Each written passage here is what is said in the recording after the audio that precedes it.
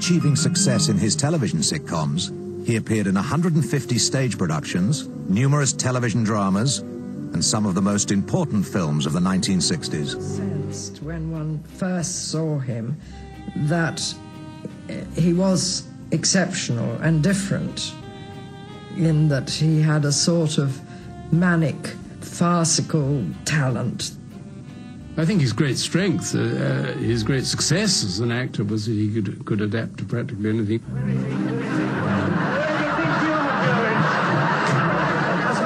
What's the matter? You say that after nearly poisoning me? You're exaggerating. I was drunk to the eyeballs. I slept for 24 hours. I still can't feel my teeth. And then he got irritated with people who he felt were not pulling their full weight, and he, I don't think he ever felt that with Frances. I'm afraid there's something of the Philistine about you, Mr. Rigsby. It's very nice of you, Miss Jones. And I thought, well, my gosh, you know, I don't know about the comedy, but he's such a powerful figure that he'll be a wonderful Rigsby.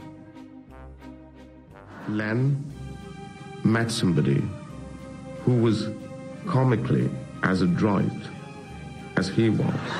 Mr. Rigsby, you're talking wildly. Stop looking at me like that. I quote Miss Jones. So. so passionately. Well, it's how I feel, Miss Jones. Well, you shouldn't. He was always doing 25 hours in every 24. And one one occasionally got a, bit, a little bit worried. He worked hard because he knew that he'd got to work hard uh, because it's such a difficult profession anyway, but also he wasn't very good looking. He was never going to be um, a matinee idol. And I think it was just single mindedness. You need a, a certain flair to be successful. You see, it's an art, yes, but not intellectual. It's more, more animalistic. But above all, you see, you, you must have three things intuition, cunning, instinct. I know he had this tremendous power, tremendous uh, sort of presence. I remember seeing him in uh, Steptoe and Son, where he played an escaped prisoner. Again, very strong. And to come onto that show and almost overpower uh, Wilfrid Brambell and Harry Corbett, it, shows how strong he was. You had to watch the whole of him to get the full flavour of Len's acting style. It was superb. And I remember saying to Len, Len, that was fantastic.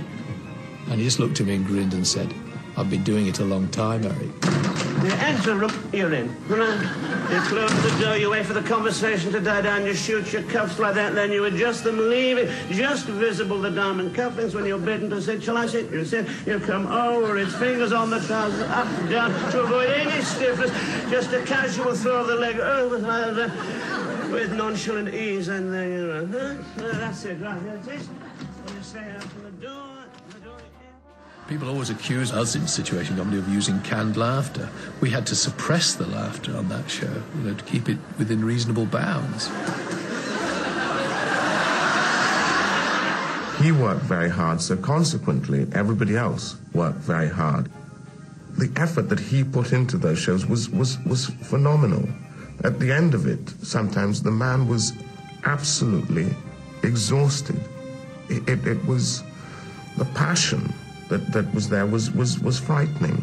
He would be so wound up. I mean, it was like a sort of spring. I must say you can be very plausible sometimes, very persuasive, Mr. Rigsby. I don't know if it's the light, but you look strangely fascinating this evening. Although uh, the setting was absurd, it was rooted in a truth of a lonely man looking for love that gave it something more than just comedy. There was a pathos there too.